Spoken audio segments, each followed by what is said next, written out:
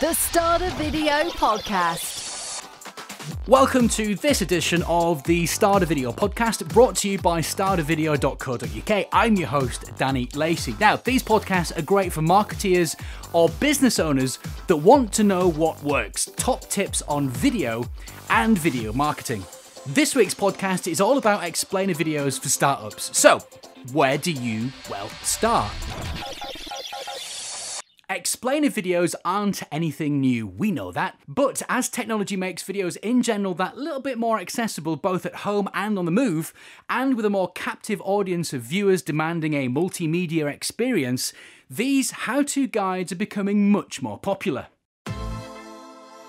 Why make an explainer video? Demonstrating a product is so much better than simply showing people what it is through words and pictures. We're all familiar with the phrase show, don't tell.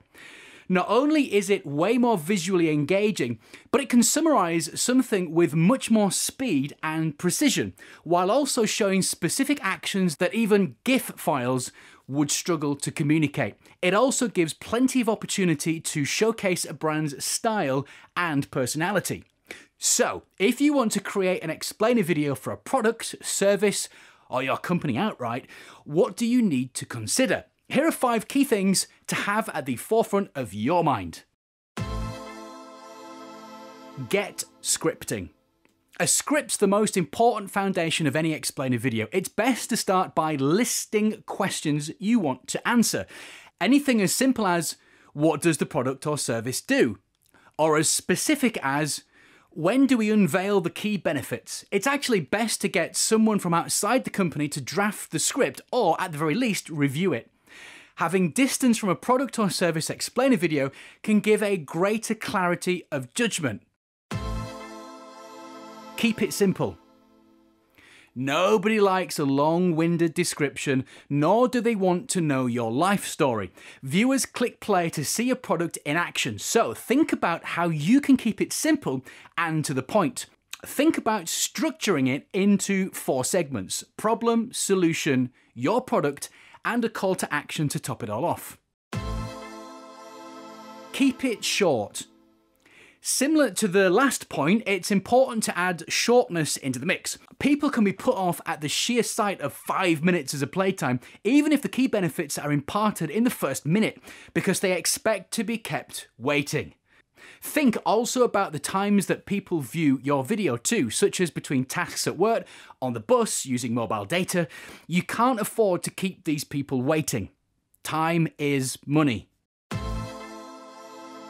Be professional.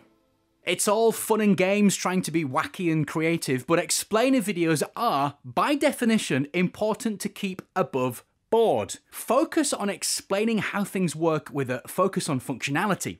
Sure, you can consider putting great functions into fun situations, but ensure those features are front and center. Focus on the benefits, not the features.